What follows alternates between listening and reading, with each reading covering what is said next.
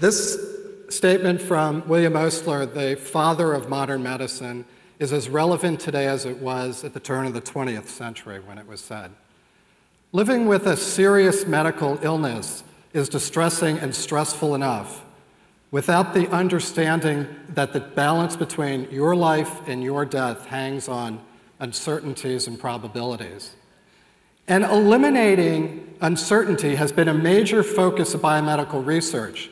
And despite incredible advances, including the identification of the 20,000 genes in the human genome, essentially our DNA footprint, uncertainty persists.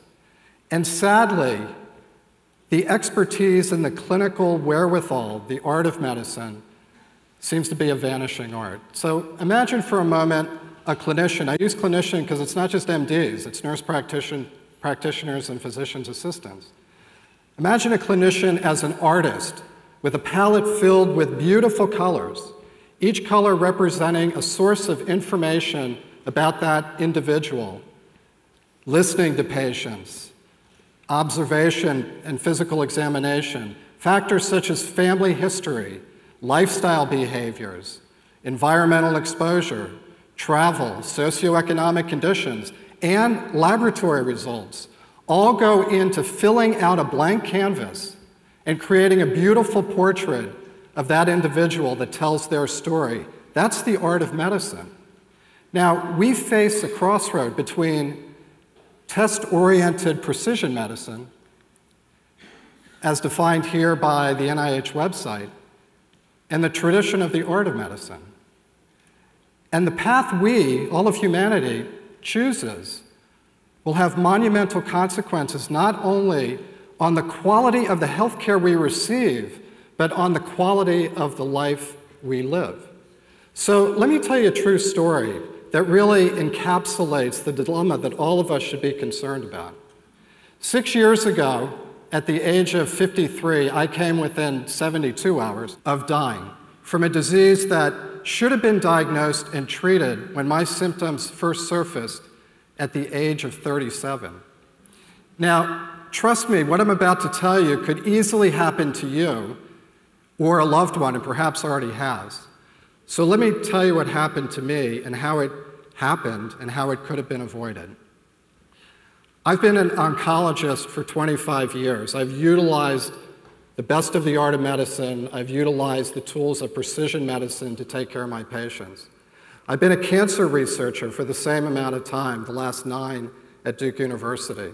I've been incredibly fortunate to have used cutting edge science to develop two molecularly targeted cancer drugs, both of which are FDA approved. Oh, thank you. I, you know, I lived an incredibly healthy life. I ran marathons. I never smoked. I had no family history. I tried to eat healthy. And yet, you wonder how somebody like me, a medical insider, who was really the paradigm of, of health, could go from looking like this to looking like that in a relatively short period of time. Now, to understand that transition, let me take you back to where the journey began. I left Harvard's Dana-Farber Cancer Research Institute after a number of years, primarily because my wife was tired of lousy weather, and took a job and a new career at the University of Miami School of Medicine. And within weeks of moving to Miami, I started developing palpitations. So if a normal heart rate, the average is about 70 beats per minute, my heart rate would suddenly start racing upwards of 180 beats per minute for no reason whatsoever. And those episodes would last 30 seconds to a minute, and they were terrifying. And I had lots and lots of skip beats on a fairly regular basis. And if that wasn't bad enough, several weeks after the palpitations started, while driving down I 95 in Miami, and you may know what that's like under the best of circumstances, I felt this incredible pressure on my chest, like an elephant sitting on my chest, the pain radiating up into my jaws, down my left arm, nausea, profuse sweating, all the classic signs of a heart attack, right? And I had this unbelievable sense that I was about to die. so much so that I said my goodbyes to my wife who was sitting next to me. A few weeks after that, I developed brain fog, as if I were taking 30 Benadryl tablets every few hours, and that lasted a few weeks. I gave a lecture once on the research that we were doing and walked out of the lecture hall and had no recollection of what I had just spent an hour talking about. And the fatigue, the fatigue was incredible. It was debilitating. I went from running 10 miles a day, six days a week when I was in Boston, to barely being able to walk 20 yards without having to stop because of just complete lack of energy. I, I, knew I was dying from some systemic illness. I just didn't know at that time what it was. And with every ER and clinic visit, and there were many of them, came the same reassurance Neil, your lab tests look normal, the routine tests, the autoimmune tests, we can't figure out what's wrong with you. We think your problem is you're stressed. That probably sounds familiar, right? And I knew I wasn't stressed. I mean, I had worked 120 hours a week in the intensive care unit as a medicine resident at Parkland Hospital in Dallas. That was real stress. And I never experienced anything like what I was experiencing. And so I urged my doctors to look on, look beyond the test, solve this puzzle.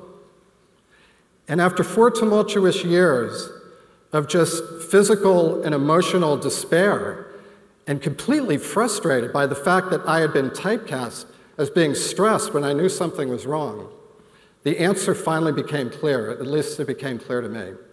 So let me just walk you through the events that led to that aha moment. I developed after four years a persistently slow heart rate, about 40 beats a minute. And I was diagnosed with third degree heart block, the most severe and life threatening electrical disturbance of the heart's wiring system that regulates the heartbeat that each of us takes for granted. And it was also at that time that a monitor captured one of the episodes of palpitations that I'd had over the preceding four years, hundreds of them. That turned out to be ventricular tachycardia, a potentially life threatening arrhythmia that could have easily killed me on any number of occasions during those four years. And I also developed arthritis, so severe that I could barely lift my arms and hold utensils. Now, it was rather fortuitous that I was prescribed an antibiotic for a completely independent reason. And within 24 hours of starting the antibiotic, the arthritis resolved 100%. And that's really when the light bulb clicked on. Anyone have any guesses as to what I had? I was convinced I put the pieces together. And it wasn't sort of high tech technology, I just thought about the symptoms brain fog, unexplained cardiac manifestations, extreme fatigue, to put it mildly, and arthritis that resolved with doxycycline, the drug of choice for Lyme disease. I was convinced I had Lyme disease. I had lived in an endemic area in New England. And so we sent the labs off, and I was shocked several days later when my cardiologist called me and said, Neil, your lab test is negative for Lyme disease. Now, in retrospect, that test was not entirely negative. And so rather than getting the antibiotics that I desperately needed, I instead had a permanent pacemaker defibrillator implanted in my chest. And I was given a diagnosis of idiopathic electrical problems in your heart.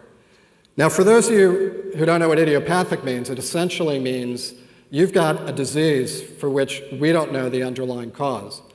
But as a good friend of mine recently reminded me, idiopathic stands for idiot doctor, pathetic patient, right? Yeah. Idiopathics don't do well, let me tell you that.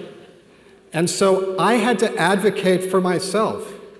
I had to force my doctors to repeat that test several times, and over the ensuing months, the test finally came back confirming Lyme disease and I was treated with aggressive antibiotic therapy, and a lot of my symptoms improved, but sadly, the damage to my heart was irreversible.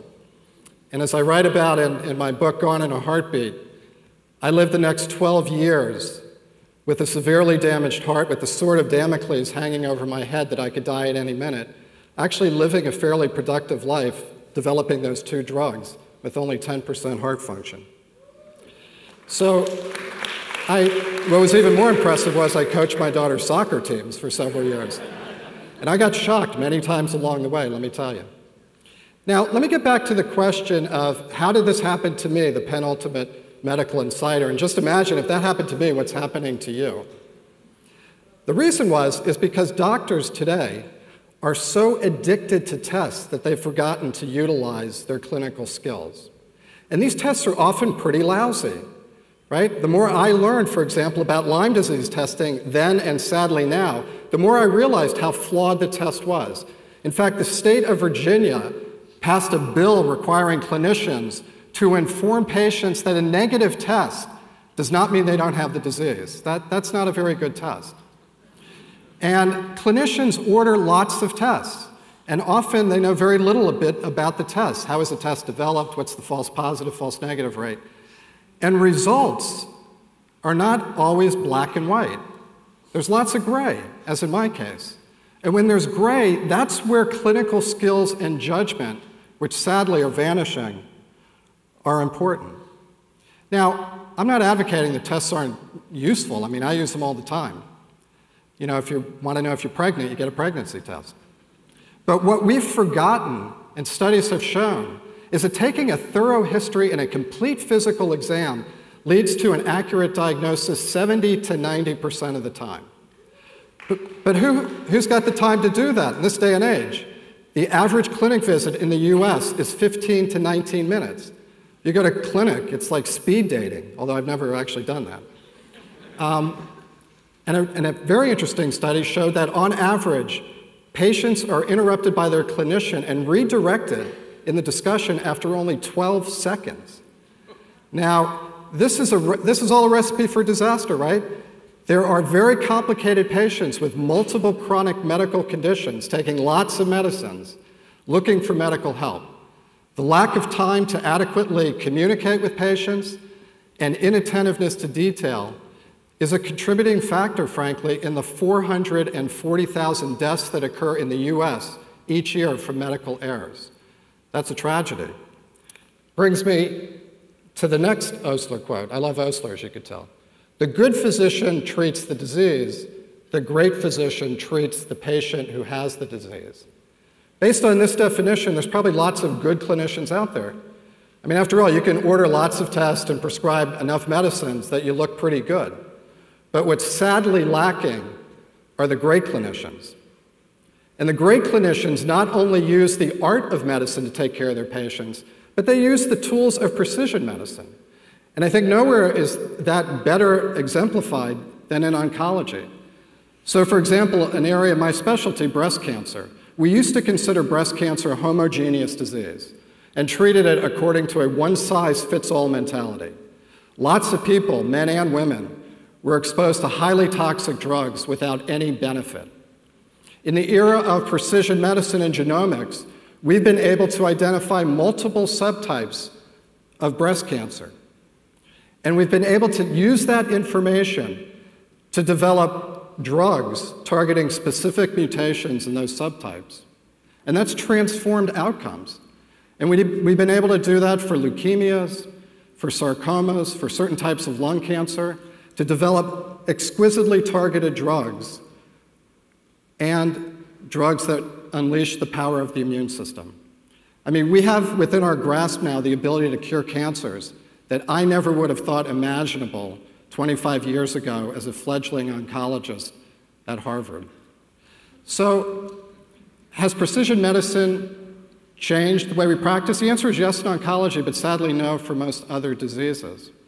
And even the best precision medicine tool is of no value unless patients change their behaviors and are compliant with treatment. And we know from study after study that patients who feel empowered and part of the decision making process are more compliant and have better clinical outcomes. But sadly, 50% of patients leave a doctor's office not understanding what they were told, and only 10% feel like they were involved in the decision making process. That's not empowering patients. And in fact, it often seems like clinicians have this omnipotent power about them, which reminds me of a, of a story about a doctor who dies and goes to heaven. And he's very busy on Earth, and there's a long line to get into the pearly gates, and he just can't wait. So he goes to the front of the line, says to the angel, I'm a busy doctor. I can't wait in this line. And the angel looks and says, You know what? This is heaven. There's no preference for doctors. Go back and wait.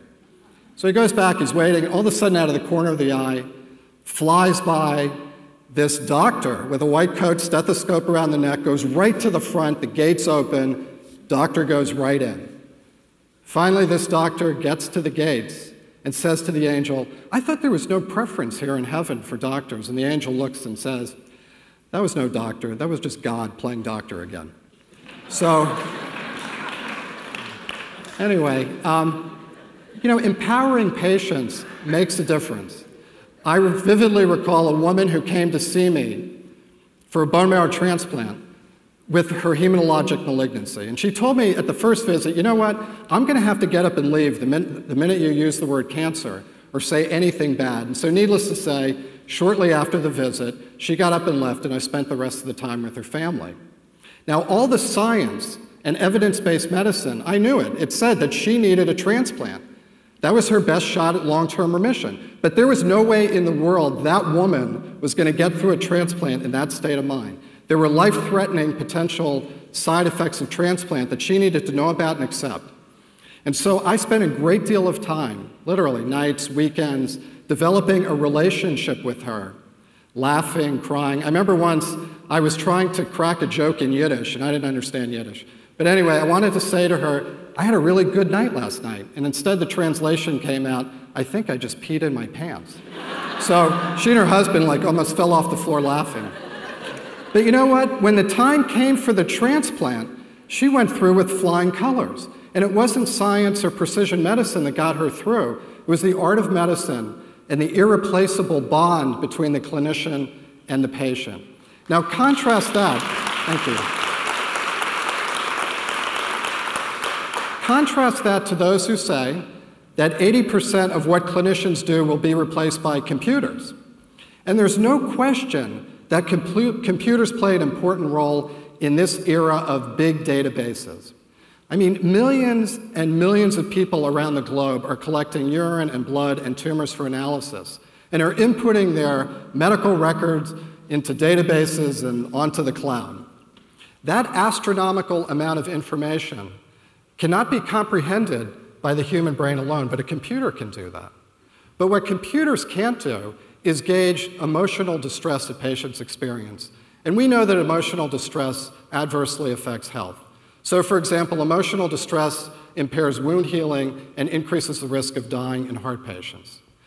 Would a computer have gauged the emotional, the sheer terror that I experienced getting shocked in front of my family, not knowing whether I would die right then and there from a fatal arrhythmia, or the incredible emotional distress that I experienced writing a goodbye letter to my then 11 year old daughter as my organs shut down one by one in need of a transplant. So I come back to the decision we face precision medicine or the art of medicine. We don't need to make a decision based on a false dichotomy.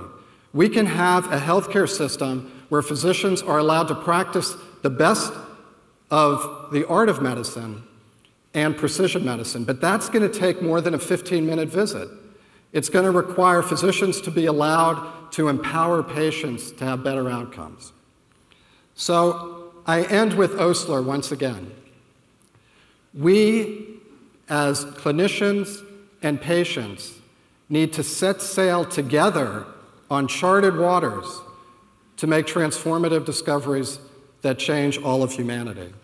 And I would be incredibly remiss if I didn't mention the fact that April is Donor Awareness Month.